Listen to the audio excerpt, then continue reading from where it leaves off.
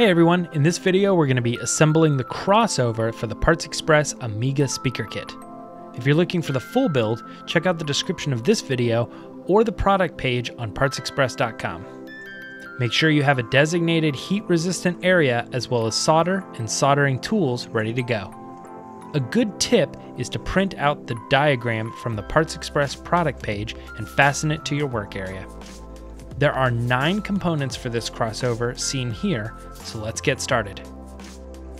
Connect the right side of parts G and C, then part F to the same GC connection.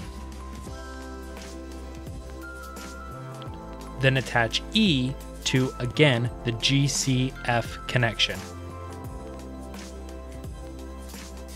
After that, connect the other side of E to the other side of F. Attach D to the right side of the EF connection.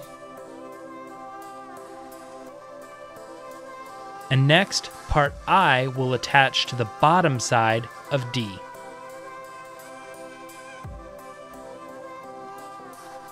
Attach part K to the left side of C then bring in part J and attach it to the left side of I. After that, the bottoms of K and J will connect together as well. Lastly, part H will attach to the ID connection, as well as the KJ connection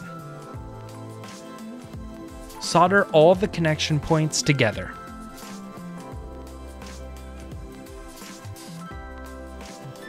Create your leads by using the red and black speaker wire and the soldering ring terminals, which are actually part of the speaker terminals, and connect them together with solder. This is the case for only one set of the black and red wires. The other two require quick crimp connectors on the ends.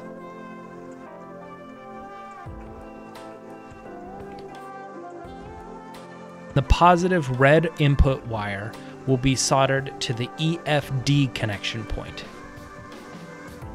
The positive red woofer wire will need to be soldered to the left side of part G. The positive red tweeter wire will be soldered to the IJ connection point. All the negative black wires will be soldered to the KJH connection point. Feel free to connect your crossover to the inside of the enclosure however you choose. Thanks for watching. Hopefully this helped to complete your kit and put you one step closer to your new sweet setup.